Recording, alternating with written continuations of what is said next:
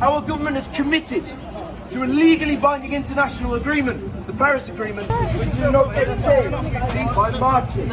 We have three to four years left to determine the future of humanity. Three to four years.